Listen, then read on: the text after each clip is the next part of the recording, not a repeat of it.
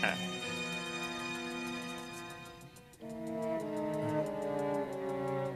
Eppure avrei giurato che il tronco fosse proprio questo.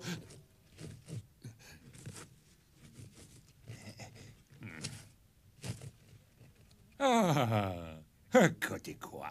Questo è il miele che avevo nascosto l'anno scorso come riserva per i momenti più difficili. Mi sembrava di averne messo da parte molto di più, ma l'albero è questo, riconosco il posto.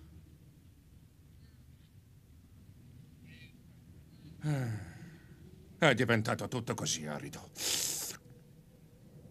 Speriamo che arrivi presto la pioggia, perché se continueremo ad avere questa siccità, tra non molto non sapremo più come fare.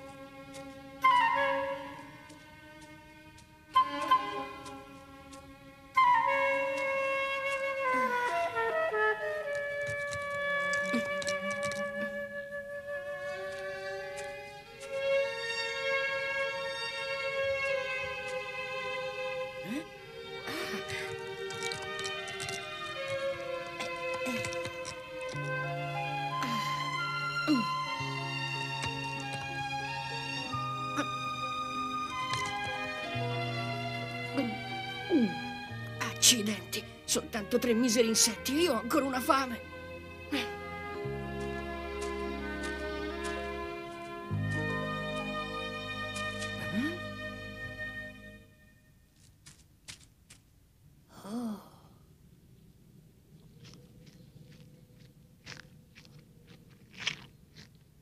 Ah, sono loro che mangiano la corteccia. Strano, prima d'ora non li avevo mai visto fare una cosa simile.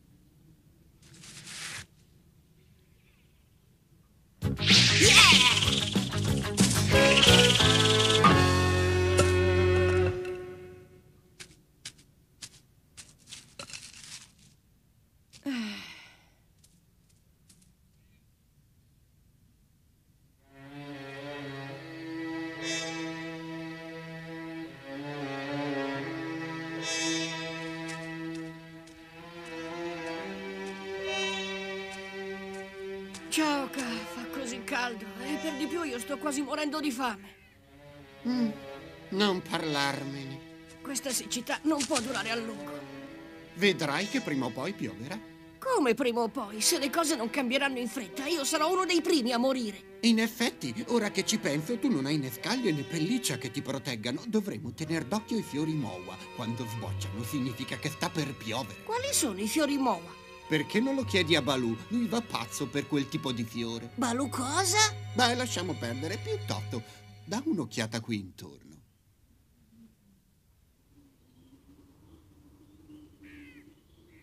Sai, è parecchio tempo che me ne sto qui acciambellato e guardandomi in giro ho notato qualcosa che potrebbe interessarti. Ah, vuoi dire quelle impronte laggiù? Vedi? Sono venuti in molti ad abbeverarsi quando c'era ancora acqua. Secondo me quelle più profonde appartengono a Balù. Oh, ci sono anche le tue. Quelle più indietro devono essere di Baghera e scommetto che riconosci quelle lasciate dai tuoi fratelli lupi.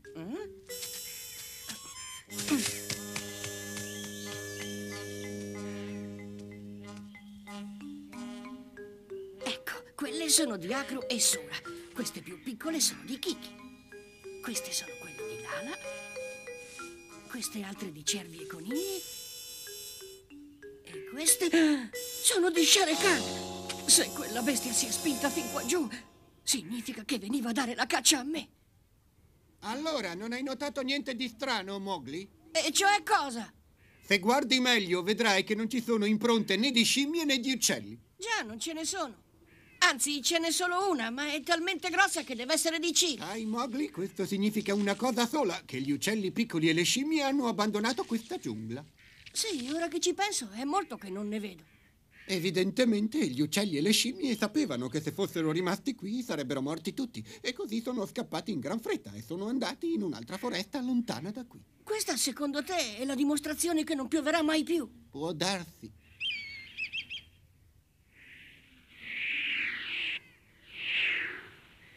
Ehi, Chill, tu sei l'unico che continua a ingrassare nonostante la siccità. Con tutte le carcasse che ci sono in giro non hai problemi.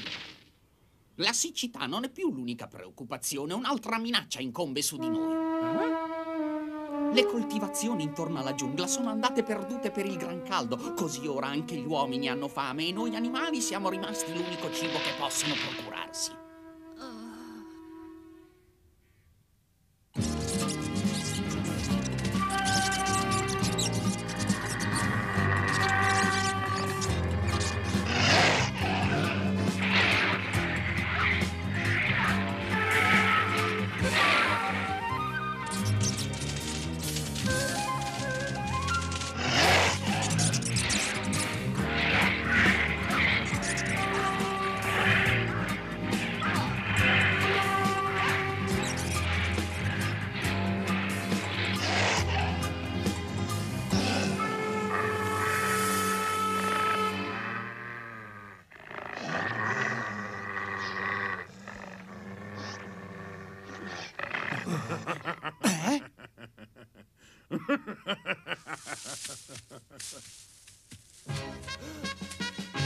Siete ridotti proprio male. I lupi non hanno più orgoglio?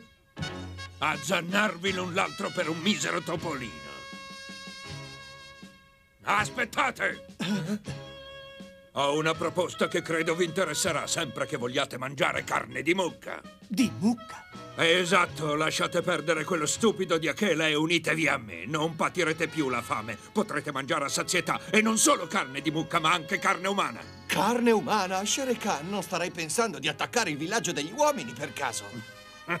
Sai meglio di noi che è vietato aggredire gli uomini. Non vorrei infrangere la legge della giungla. Ah, proprio una bella legge. E preferite morire tutti solo per rispettarla?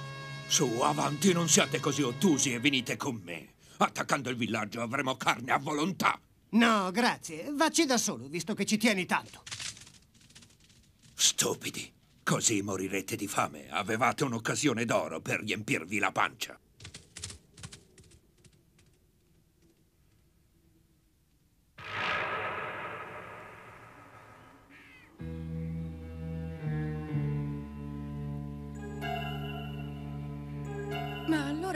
Continuerà a non piovere, gli uomini verranno a darci la caccia per poi mangiarci. Sì, è possibile. Baghera mi ha detto di questa pericolosa abitudine degli uomini. Quando hanno fame mangiano qualsiasi cosa gli capiti sotto mano, sia vegetale che animale. Perciò se verranno qui in cerca di cibo distruggeranno ogni cosa e la nostra foresta si trasformerà in una distesa arida. Su, non essere catastrofico, altrimenti Mowgli si spaventerà e se ne andrà anche lui. No, io non ho paura, perché so che gli uomini non sono tutti cattivi. Possibile che non ci sia il modo di chiamare la pioggia? Mm. No, non c'è niente da fare. Ascolta, Mowgli, quando il tempo si accanisce così su di noi, l'unico modo per sopravvivere è non sprecare energia. Oh, oh, è arrivato il professore, adesso siamo a posto. Lui scherza, Mowgli, ma in realtà è così. Per esempio, quando cammini devi cercare di farlo il più lentamente possibile e quando vai a caccia non affaticarti troppo e accontentati di quello che trovi, capito? Inoltre fai in modo di non perdere mai il controllo della situazione qualsiasi cosa accada. Con questo caldo chi perde la testa è perduto e poi quando si ha fame si è irascibili ed è facile che scoppino delle zuppe inutili. Mi sono spiegato bene? Che ne dici, Mowgli? Mm, è vero, è proprio come dici tu. Ultimamente sono scoppiate delle risse per dei non nulla. Eh? Ah, eccoti, ti ho trovato finalmente. Mowgli, ti ho portato del miele che avevo nascosto. Eh. E questo secondo te sarebbe miele? Eh, certo, l'ho messo da parte nascondendolo nel tronco di un albero l'anno scorso. No, forse era l'anno prima ancora. Beh, in fondo che importanza ha? Eh,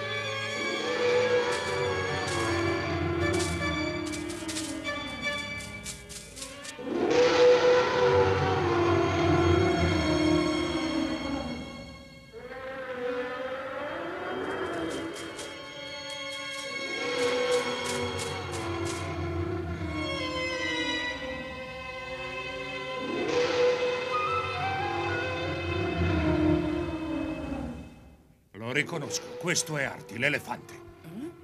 Già, e questo significa che sta per iniziare la tregua del grande fiume. Ma se Arti è arrivato a prendere questa decisione, vuol dire che la siccità è molto più grave di quanto si pensasse. Ma ditemi, che cos'è la tregua del grande fiume? Ecco, sarebbe... Non perdiamo tempo, se vieni con noi giù al grande fiume lo scoprirai da te.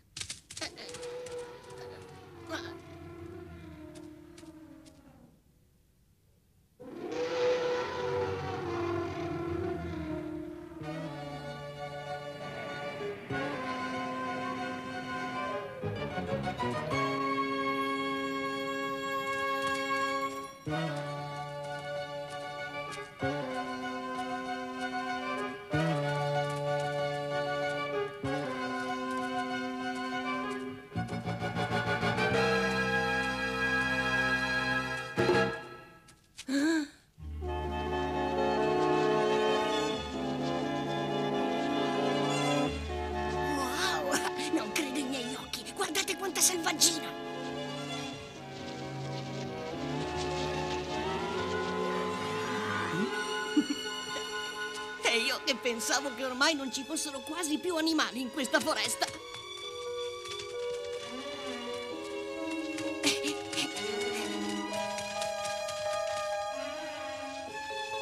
Dai, dai! Aspetta, Mowgli, non puoi farlo!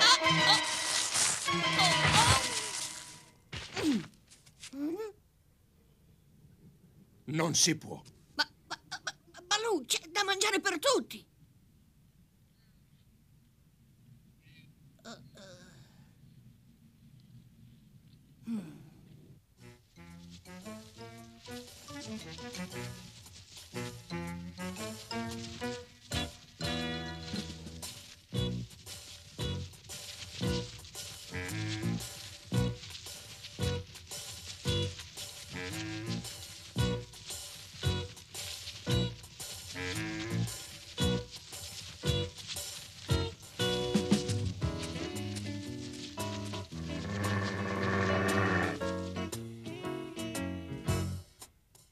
Ma che cosa sarà la tregua del grande fiume?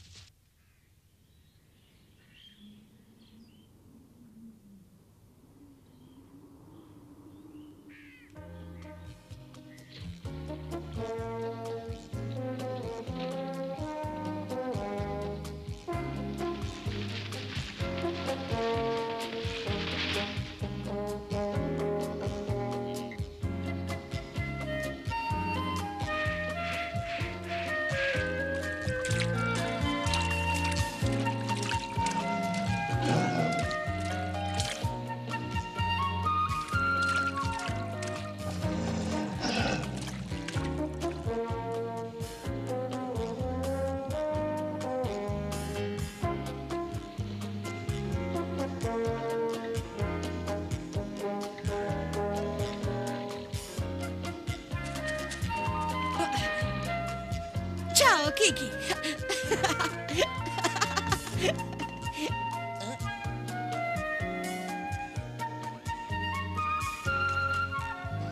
Ah, non pensavo che fossero così grandi.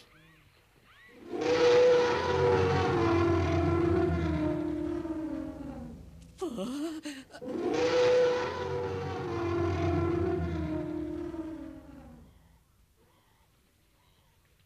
ora nella foresta regnerà la pace tra gli animali. Nel mezzo del fiume è comparsa una grande roccia azzurra, è la roccia della pace di cui avete sentito parlare dai vostri nonni.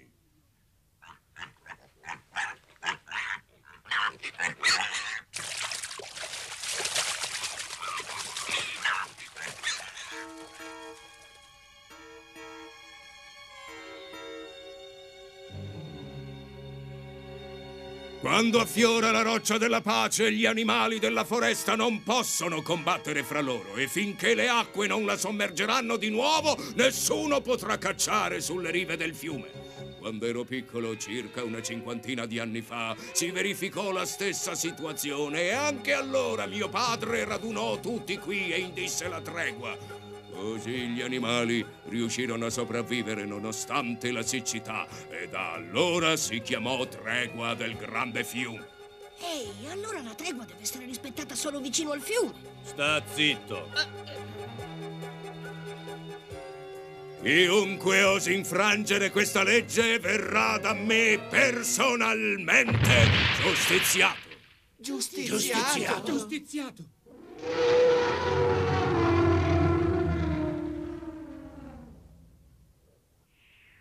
La tregua! C'è la tregua del grande fiume!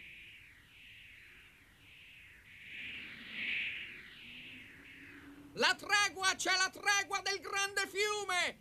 Ascoltate! C'è la tregua! La tregua del grande fiume!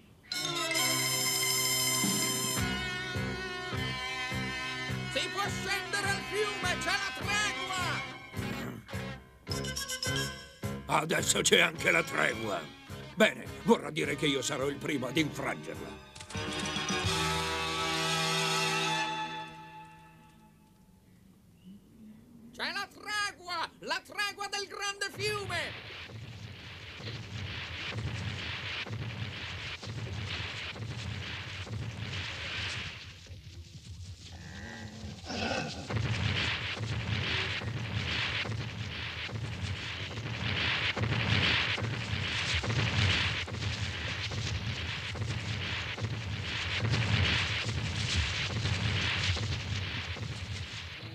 Ti spiegherò meglio la situazione. Questo è l'unico luogo della foresta dove si può trovare l'acqua, capisci adesso? Sì. Quindi tutti gli animali verranno qui ad abbeverarsi.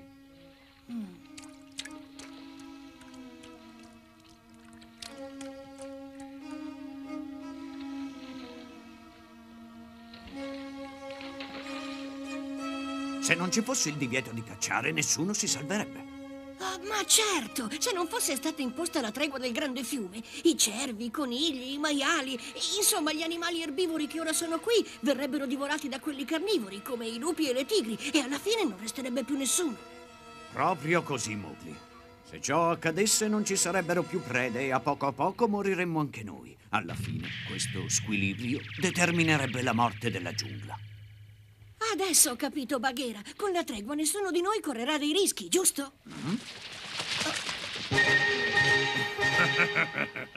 Shere Khan, Per te non c'è tregua. Tu non sei un animale della giungla, ma solo uno spelacchiato cucciolo d'uomo. Basta, vattene via, Shere Khan. Noi non abbiamo niente da spartire con te. Tu attacchi anche gli uomini e non rispetti le leggi della giungla. Ma che leggi e leggi? Siete lì con lo stomaco vuoto a un passo dalla morte e parlate di leggi. Mentre io che ho più coraggio di voi mi sono appena fatto una scorpacciata di carne umana. Anzi, adesso vado a sciacquarmi la bocca.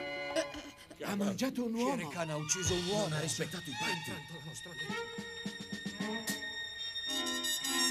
aspetta, Shere Khan! Chi infrange la legge della giungla non può passarla liscia! Oh, questa sì che è bella. Ci tieni proprio ad essere sbranato da me, allora. Cosa?